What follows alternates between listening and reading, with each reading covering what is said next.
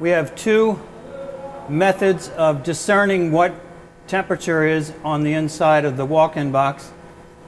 We have a uh, digital temperature alarm and we also have a dial thermometer. This temperature alarm will go off when the box reaches its high point set pressure or its low point set pressure.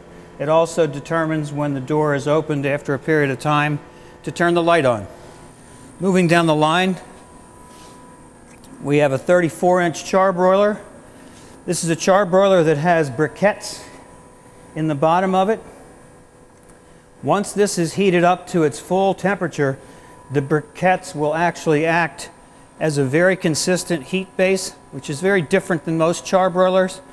Most are their cooking efficiencies predicated on the amount of fat that flares up onto the food product.